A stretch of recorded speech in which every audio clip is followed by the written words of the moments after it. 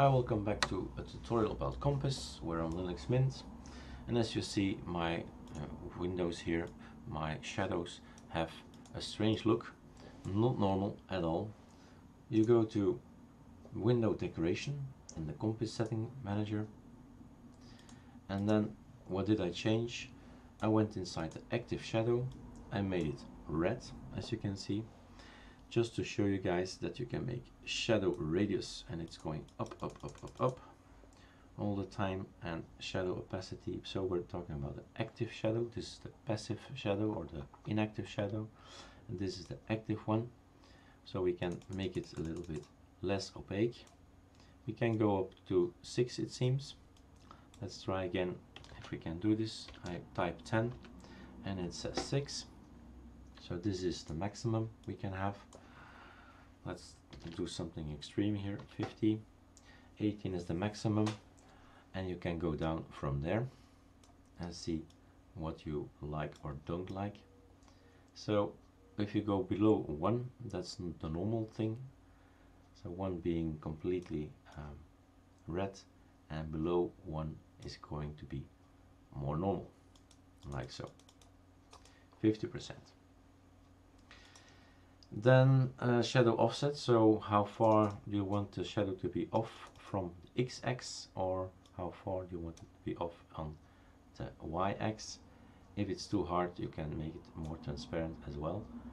As you can see it can be invisible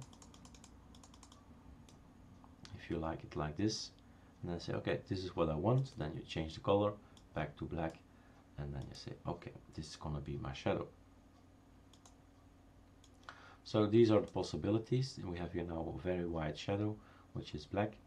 And this active, this is hover to hover over and make it active. That was somewhere up here that we can change that. Was dim inactive, I think it was. Let's try. Okay, it's this one. So now it's, uh, oh, it's not.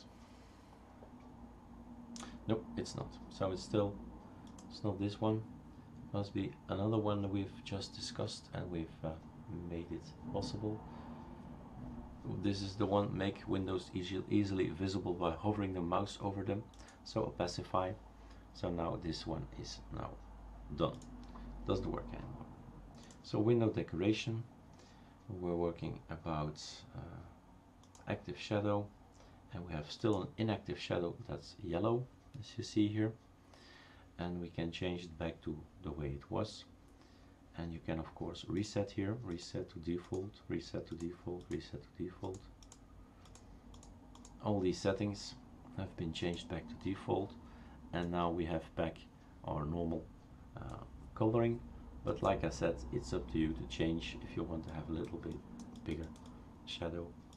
And um, you can choose it here and that's all about uh, that's all about uh, these shadows and uh, this specific part of Compiz enable the window decoration